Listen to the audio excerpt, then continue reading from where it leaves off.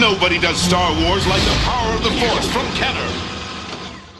Hey, Star Wars fans, welcome back to another episode of Power of the Force Fridays. Bringing you Han Solo in his Endor trench coat. There is an absolute strategic reason why I'm reviewing this figure here today on this Friday. Um, because I do have the most recent one, and I also have recently just picked up the uh, the vintage Han Solo from Return of the Jedi, which I will review, and I do want to do some comparisons. So I thought, why not stick with the theme and roll out Han Solo in his trench coat? It's a cool look. It's a um, I don't know. This is this is a good figure. I, I, I do dig this one a lot. And the obvious sort of slight inaccuracy here is that he's wearing the uh, the blue pants that he wore in A New Hope. Whereas come Return of the Jedi, he uh, switched out for some nice brown ones with the, with the with the red stripes. Oh, they brown with yellow. Yeah, brown with yellow, and then A New Hope it was blue with red. So we've got a little bit of a hybrid here of blue with yellow stripes. The old Corellian blood stripe, as they became known as. So this one See a little bit of blue tack under there. So this one would have been 1997. So yeah, sort of right, right bang in the middle.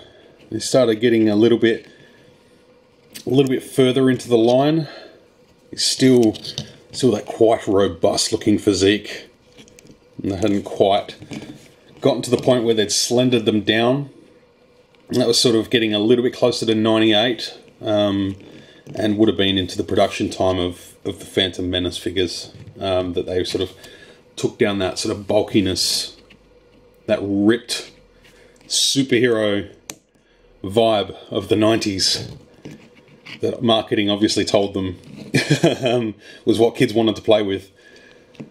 Um, but you know, I, you know, being a child of the 90s, you know, born in 87, raised on Star Wars toys, Power of the Force in the 90s um, didn't even didn't even cross my mind that these guys were just super buff. Like it just wasn't even a thing. Didn't even consider it. wasn't until sort of adult, um, becoming an adult, like teens, sort of getting back into collecting again, and um, was starting to focus on the collecting, having a disposable income to to buy all the stuff I wanted as a kid. Uh, it's not until sort of you start realizing, oh wow, they were they were really ripped But, you know, Han Solo, always been a favourite of mine. I still think the Bespin Han Solo is my favourite look in terms of Han Solo's outfit. Don't know what it is. It's about that sort of that sort of dark navy blue jacket that he wears on on Cloud City. But I do like the trench coat. I like it. Obviously, seen a lot of iterations over the years. This one being the most recent and probably probably due for an update. It's quite an old figure. We're not here to talk about this one.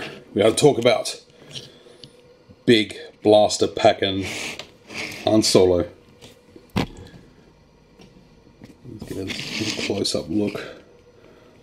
From that angle, there's a little bit of Arnold Schwarzenegger there, isn't there? Well, he's got. It looks like um, you know, Arnie when he's Terminator, where he's got the big big coat on.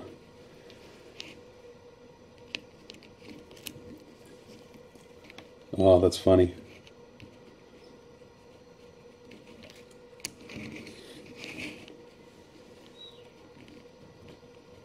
Yeah, there's definitely some Arnold Schwarzenegger there. Got the old sort of swept across hair. just look, that's just a really good angle.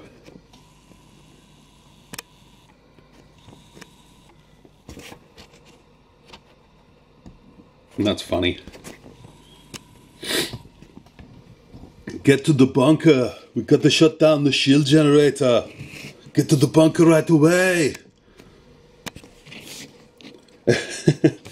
Come with me if you want to fight the Empire. I don't know. That's all I've got. Not the best uh, impersonator of Arnold Schwarzenegger. But yeah, it's it's a cool figure. It's uh, I like it. You know, I'm going to say in every, every week, I always say there's always going to be a soft spot for these Power of the Force figures. And uh, yeah, having having Han Solo here, it's uh, it's a good one. I'm displaying him with uh, Luke and Leia. They also look good together. Yeah, I might get around to doing them at some point. But uh, there is Han Solo in his trench coat from 1997, Power of the Force. He has one, two, three, four, five points of articulation. Six. Two legs, one waist, one neck, two shoulders. Six points of articulation. Six POA. Yeah, that waist will turn.